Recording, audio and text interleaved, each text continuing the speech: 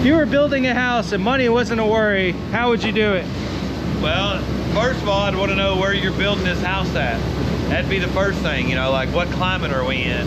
But like my house has one inch of closed cell foam with cellulose on top of it and all the exterior walls. And in the bottom side of the roof deck has about 10 inches of open cell spray foam. So that in our climate, that's the best way you can insulate a house. Uh, it may be a little bit of overkill in my walls, but it just gave me peace of mind to know that I've insulated that wall as good as it possibly could be for our climate. So What about North Texas?